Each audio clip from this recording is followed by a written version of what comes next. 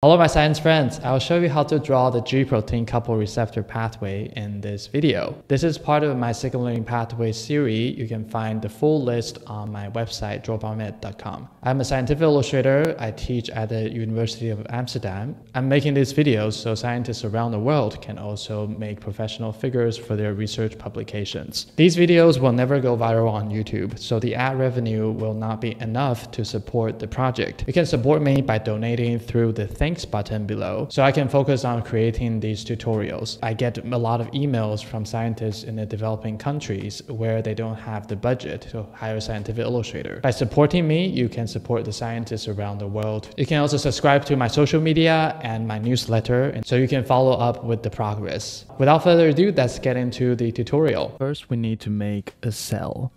I'll create an ellipse and by default, the outline is black and make the outline thicker and switch it to a color that I want my cell to be. In this tutorial, I choose cyan. Okay, the next step, we need to put a radial gradient into the cell. We need the gradient to start from the center of this ellipse. That's why we need to come up here to the upper right click on this magnet icon, which means snapping. This function will allow Inkscape to locate the center point of a shape for us. Once you find the center point, click and drag, then we can make this radial gradient. By moving the gradient node, we can manipulate the shape of the gradient. We need a longer arm on the horizontal side. Right now, let's change the color of the gradient. Have the node selected and come down here in the swatches to click on the color you want. Then the center node will be white. Now let's create the G-protein couple receptor. It is a 7 transmembrane protein. Let's grab the rectangle tool and we need a thinner outline and I'll switch the outline back to black. Second shape we need is an ellipse, and the width of the ellipse should be the same as the width of the rectangle. So we can fit this ellipse perfectly onto the rectangle. Now let's make a copy of the ellipse and move it to the bottom side of the rectangle. We need to combine this shape with the rectangle. Let's select both of them and come to the menu, open path drop down menu. You can find union. Click on it, then we can combine the two shapes.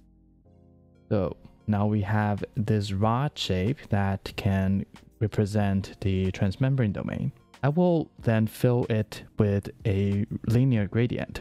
Let's come up here to switch the gradient mode to linear. Click and drag and then we can have the gradient. We need three gradient stops. So let's come up here to, so we need, let's activate the fill and stroke tab. If you cannot find it, you can go to object and click on fill and stroke. So when you move the cursor underneath the gradient slide, the cursor will change into a plus sign. And when you click your mouse, you can create a new gradient stop. Okay, now let's put some color into our gradient. Um, so have the gradient stop selected, come to the swatches and click on the color you want. I'll use purple for the transmembrane domain. And the middle color will be white. And the top ellipse, I will use a lighter purple. So this is how you create a rod shape. And now I will duplicate the rod shape to seven of them. We only have six because when I was live streaming, I miscounted the number. I'll give an extra domain later. Now let's move on to the next step. We need to align these transmembrane domains. Let's open the align and distribute tab. You can find them in object and down here, click it with all the rods selected, first we align them to top edges. Click on even horizontal gaps and be sure they are perfectly aligned. Let's grab the pen tool to create the domain that's in between these transmembrane domains. Uh, we need to remove the fill. And I will also, I will change the stroke color to purple. So everything is in synergy. I'll just quickly copy them and put them in between the transmembrane domain. I think they are too twisted. I move the nodes a little bit to smoothen them. Now we will start to create the signaling proteins. We'll just use some simple geometric shape. So first let's create an ellipse. We need a radial gradient in this ellipse.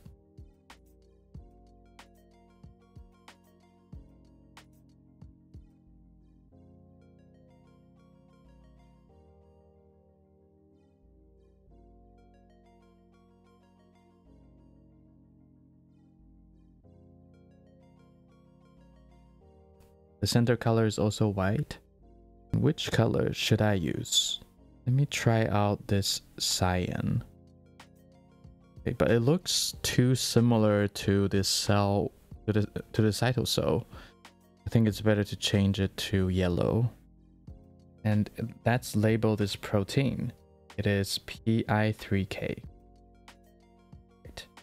And PI3K indirectly interact with PIP3. So we need to create an arrow with the dash line. Let's use the pen tool to create a line. Then we come to the fill and stroke tab. In the stroke style, we can find markers. When you open the drop-down menu, there are many types of arrowhead you can choose from. I will use this one. Now let's come up here open the dashes drop down menu. Uh, then we can select the dash line we need. Great, then we can complete this step of indirect interaction. So there are a few more proteins downstream. I will just copy the protein that we already made and change the label and change the arrow back to solid line. And it is also better to change the color of the protein. Switch PDK1 to blue. The font I use is Arial. Arial is recommended by many journals because it is the default font in the Windows system. Change and I change AKT to magenta. And AKT needs to go into the nucleus. So we need to create a nucleus. I'll copy the cell, scale it down, and when you scale things down, some uh, they will also transform the thickness of the outline. I'll make it into three points wide again. And I will come to the stroke style tab, make the outline into dash lines, and change the cap style to round cap. This can create the pores on the nucleus.